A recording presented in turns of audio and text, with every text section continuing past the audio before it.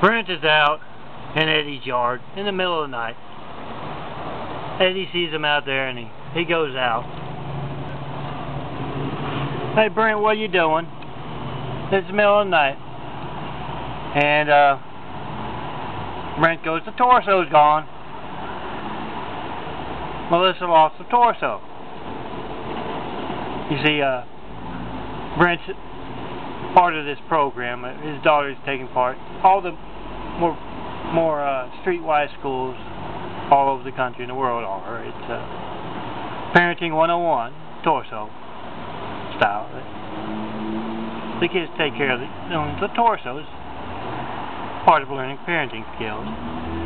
And uh, Eddie goes, well, he didn't, doesn't have arms or legs. He couldn't have gotten very far. And uh,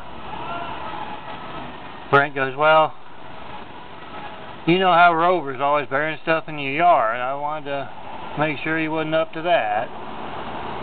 You know the guy at the uh, school said, torso's about witnessing and